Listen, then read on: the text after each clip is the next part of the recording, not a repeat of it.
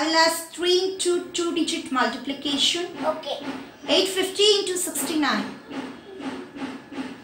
5650. Correct. 798 into 90. 7820. Correct. 999 into 99. 98901. Correct. 750 into 80. 60000. Correct. 747 into 86. 64242. Correct. 852, 63, 98, minus 41, minus 3, minus 2, 746, minus 56, 98, 784, 787, minus 9, minus 8, 8, 5, 99, 81, 82, 985, 765, minus 25, 89, minus 7, 69, 874. 6334. Correct. 38, 81 minus 18, 69, 22, 47, 27 minus 26, 81, 20, 35, 46, 40, 55 minus 15 minus 15. 487. Correct. 4 digit into 1 digit multiplication, Chiranthan. Okay. 2, 4, 9, 8 into 9. 22482. Correct. 7, 9, 6, 5 into 5. 39825. Correct. 8, 6, 7, 8 into 8. 69424. Correct. 9, 8, 9, 9 into 9. 89091. Correct. 7, 7, 8, 8 into 8. 62304. Correct. I will ask double into double digit multiplication. Okay. 98 into 56. 5488. Correct. 85 into 85. 7225. Correct. 74 into 69. 5106. Correct. 98 into 99. 9702. Correct. 73 into 89. 6497. Correct.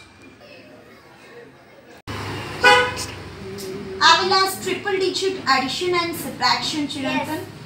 895, 963, minus 785, 999, 741, 875, minus 865, 331, 555, 803, 457, 106, minus 751, 568, 473, 991, 963, minus 649, minus 857, minus 633, 812, 937, 982, 731, 724.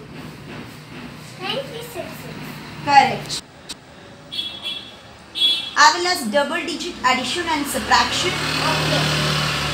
21, 46, 61, minus 28, minus 96, 84, 28, minus 36, 49, 52, minus 63, 36, 96, 61, minus 38, again minus 38, 81, 96, 48, minus 44, minus 36, minus 28, 43, 62, 61, again 61, minus 36, 48, 96, 28, 17, minus 26, 36, minus 61, 33, 20, 38, 61, 96, minus 28, 18, 20, minus 20, again minus 20, 63, 96, 44, minus 32, 68,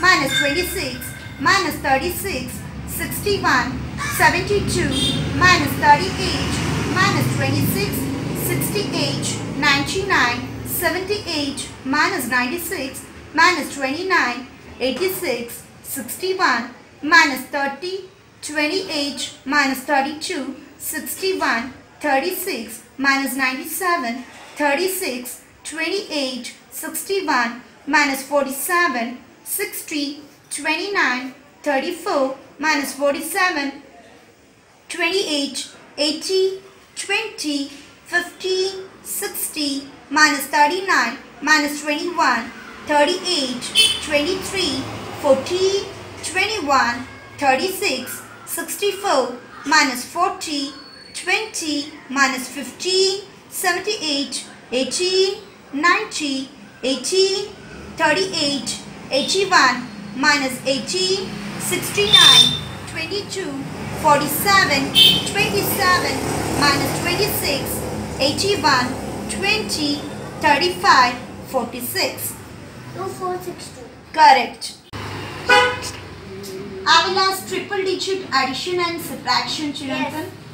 895, 963, minus 785, 999, 741, 875, minus 865, 331, 555, 803, 457, 106, minus 751, 568, 473, 991, 963 minus 649 minus 857 minus 633 812 937 982 731 724 936.